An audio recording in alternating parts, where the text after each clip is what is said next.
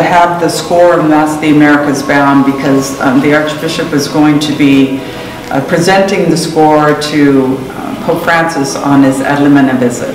So this is very, very exciting because the Mass of the Americas has meant so much to my husband, myself, and I know to the Archbishop. Uh, and I was then contacted a bookbinder and uh, he created this beautiful book the score of Mass of the Americas, done in a Marian blue. And he was really helpful in collaborating with me because I've never done such a thing. Uh, and we wanted it to be simple because we know Pope Francis loves simplicity, but yet beautiful, elegant at the same time. So these, the it is typeset. So this is old, you know, like printing press type. It's uh, all hand done, all hand punched. And Wow. Isn't that beautiful? Wow, it is. Yeah. Wow, thank you. Thank you. Beautiful.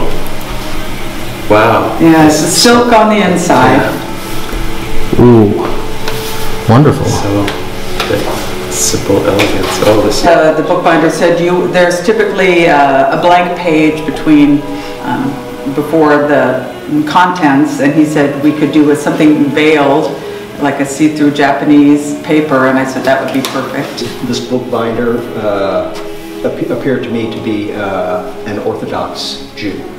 oh, And so I think he really understood the notion of the, of the veiling oh. in the temple. Yes. After this was completed, the question came up of presentation. It needed to be carried into the presence of the Holy Father, and then when the time came, you just hand him a book, or, or how is that done? So um, we came up with the idea of a, of a bag, and I was had, was challenged to find something a bag worthy of to hold this and to give to the Holy Father, and just maybe five days ago, I contacted Altar Worthy, and Oh, yes? they they they created the vestments for the Mass of the Americas, and so just today they finished the presentation bag, which I have a picture of.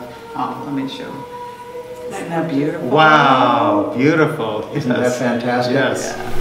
Well, our Holy Father, obviously, he's the first pope from the Americas, um, and he's uh, preaching a lot, um, urging us toward unity. He has his own devotion to Our Lady. He's, of course, a great devotee and promoter of the devotion to Our Lady, Untier of Knots, which seems to be a very timely one in, in our age.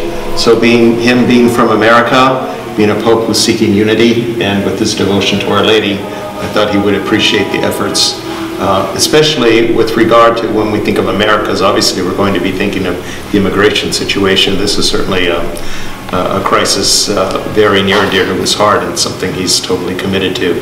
So uh, we work very hard on the issue, but we also need to engage the power of beauty to, to heal and unite, uh, in particular on that issue. So I thought this would be something he'd appreciate knowing of our efforts here in California.